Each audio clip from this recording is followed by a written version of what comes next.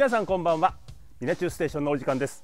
今日は長崎県立工科高等学校にやってきました。はいこっちこっちこっちこっち。福祉課がですねやってるはずですよ。み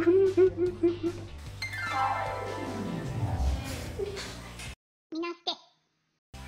じゃあ今から効果元気体操いって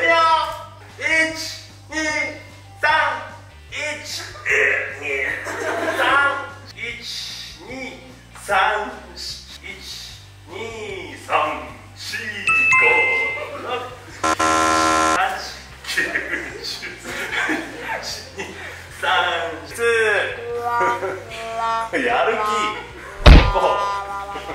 気みなチューステーション溝田さん効果元気体操どうして作ったんですか効果元気体操はコロナ禍のために外出を自粛されている高齢者の方に向けて作りました感染予防のためにも体力や免疫力を高めておくことが重要なのでぜひ実践してみてください。